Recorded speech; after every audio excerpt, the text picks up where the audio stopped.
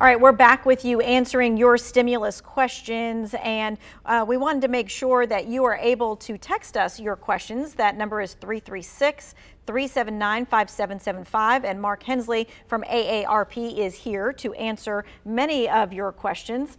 All right, so uh, we are getting this question here Is it, it a clear $1,200 or are taxes taken out of the stimulus check first? Tanya, that is a great question that's on many people's minds. Please understand this is not a loan. This is not taxable income. And many of the people receiving the stimulus payment are on uh, income based assistance. This will not affect your benefits and it will not be counted as taxable income when you file your 2020 taxes next year. Okay, so it is a full 1200 bucks and it's going to come out um, either by check, right? Or if it's direct deposit, it's going to say IRS TRES 310. It's not going to say stimulus payment. It's not going to say economic impact payment, none of that kind of stuff, recovery payment. It is going to say IRS TRES as an IRS Treasury and then 310. All right, so the next question we have is if I get Social Security payments on a card, will I also get my stimulus deposit on the card? That's another great question. If you go to irs.gov and look at all of the information, however you receive your benefit payment, even if it's a reloadable card, that is how you will receive the stimulus payment from the federal government. Okay, so this is another uh, question about taxes. What about if I owe state taxes? Will I get stimulus money? It's a great question. There is no connection with owing federal or state taxes. You will get this assistance. Um, directly, and it will not have an impact on owing the state any money or the federal government. There is one disclaimer if you owe back child support, then that amount of money will be held out of your stimulus payment. Gotcha. And that actually was a follow up question. Will child support be taken out of a stimulus check? But that's only back child support. That's not that is child correct. support that you're continuously paying. That is correct. Okay. Uh, this question says, what do you do if the amount that you received is not correct?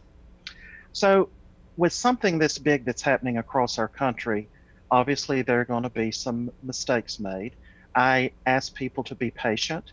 Um, there has been some misunderstanding that the IRS website crashed, and it actually didn't crash. It was just so overwhelmed. So if you have a a double amount of money, let's say. That's a great problem to have, but don't go take it out.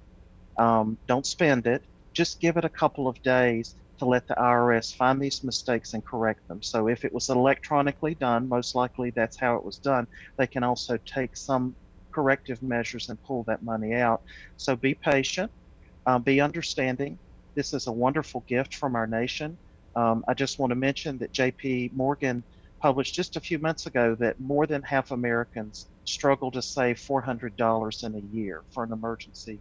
So having this $1,200 is really to help all Americans alleviate any type of tragedy in this emergency. I mean, the IRS always gets the money that it's due right? um, so um, would it be something where I know people want to get in touch with the IRS, but this might not be the exact best time? So maybe waiting a, a little, to, a few weeks? Yes, be mm-hmm. patient.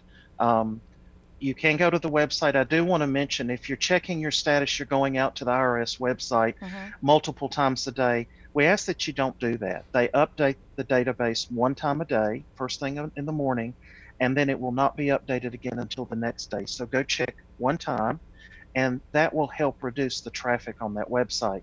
The same is true about your bank. We've noted uh, that several banks have had very increased traffic, um, online access, and that is bogging down the system as well. So be patient and try not to overload these systems. All right, and I do think we have a full screen graphic there as well that talks about how they only update the IRS website one time a day. And I wanted to make sure if we could to show everyone that because I've had a couple of questions where they say I got locked out and um, it said that I had to come back in 24 hours and what do I do in the meantime? So it clearly says here on the IRS page that they only update it overnight. And so only to come to the IRS page once a day because it will not change throughout the day. Um, and someone asked, is there any other place besides the IRS website to track their stimulus money? Um, no, that is Yeah. the best place to track their stimulus money. And someone asked, um, do you get more money from the feds if you have kids? And the answer is yes, but. Yes, it is. It's very much a yes, but um, it is for when you have claimed children under the age of 17 in your 2018 or 2019 um, taxes. So that's how that will be based.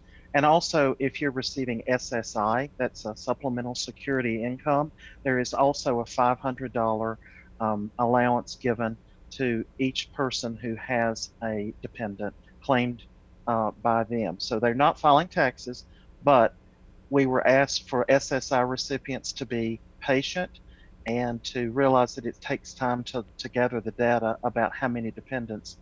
Small number, number of people, but still gathering that data will take some time. But if you claimed a dependent under the age of 17 on your 2018 2019 taxes, there's a $500 allocation in addition to your $1,200 uh, gift from the from um, the government. And from what we know, this all comes at one time. It's not like the kid benefit comes at a different time than the $1,200 does. That's a great point. It does come as one payment. Okay.